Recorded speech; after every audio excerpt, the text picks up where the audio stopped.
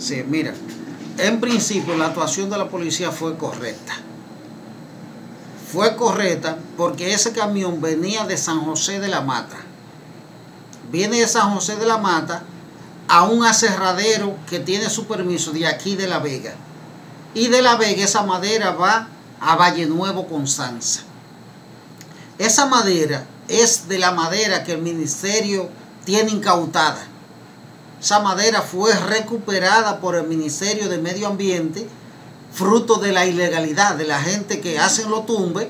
El ministerio hace la persecución, agarra la madera y nosotros la tenemos en los diferentes depósitos a nivel nacional.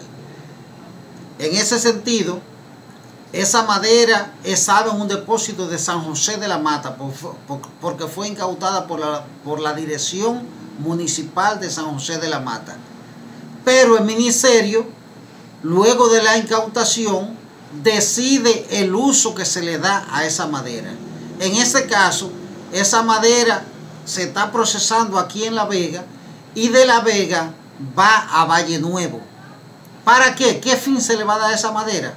Las casitas que se le están construyendo a las personas que fueron desalojadas en Valle Nuevo se están haciendo con la madera que nosotros estamos incautando. Yo mismo hace un mes, dos meses, envié por orden de la sede central, envié cuatro camiones de madera a un aserradero de Bonao y de Bonao llegó a Valle Nuevo.